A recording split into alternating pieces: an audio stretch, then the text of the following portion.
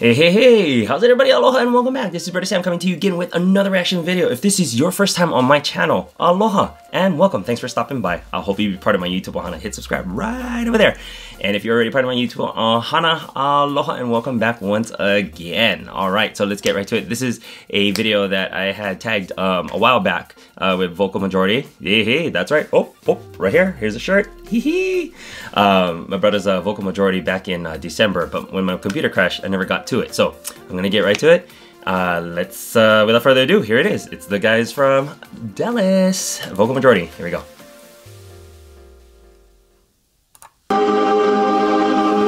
Oh. That is just a small piece of the unmistakable sound of oh, vocal Oh, majority. it's a newscast. And recently, we got to go behind the scenes with this group. They're on a musical mission. They are the ones for Texas. I thought it was a song. It is the sound that blows people away. was just there. Over a hundred men singing in perfect harmony. I think once people get in it and Hey! they ring their first chord, a lot of times they're hooked. Vocal Majority formed in Dallas back in 1971, and for the last 40 years or so, the Oh, group has been I guided by Jim faces. Clancy, and now his son Greg. Boy, I just music's Oh, been part Jim. of my life always, and I know it has his because I've been there for all of it. so, um, and he loves it, you know, just as much as I do. It's just a wonderful thing. I can't ali- can't imagine life without music. This Yep. volunteer group has performed for Oh. presidents, and they have sang recognize across the faces. country Are you ready, back row? It's great. while having some fun. Hey, it's Eddie! Vocal Majority recognized a year ago how their style of music can impact lives when they honored musician Leonard Cohen. So that night, um, we did a Facebook Live of us singing his version of Hallelujah um, with also a third verse that, Already did this that video. my dad had composed.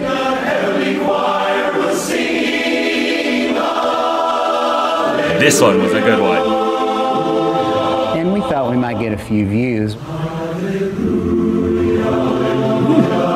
it ended up going viral. We got eight and a half million views. And the responses poured in.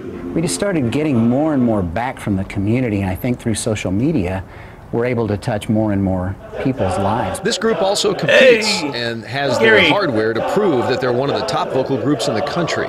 But their mission goes beyond being just the best male singing organization in the world. They say they're in it for the people. There's not enough harmony in the world, and when you put harmony out into the world, and people know that it's genuine, Yep. they react Oh, to it it, is. and they are. These guys are. No question about it. Vocal Majority's Christmas concert, by the way, kicks off in Greenville in early December, and then a series of performances leading up to Christmas in Richardson.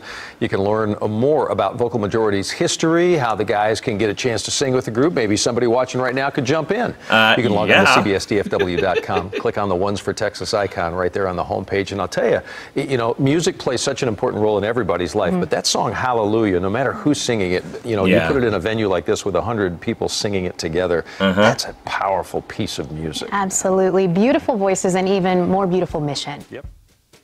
Okay, so, alright. I guess I thought it was a song. I thought Ones for Texas was, I thought that was the title of a song, but I guess not. It was an actual interview by a news station.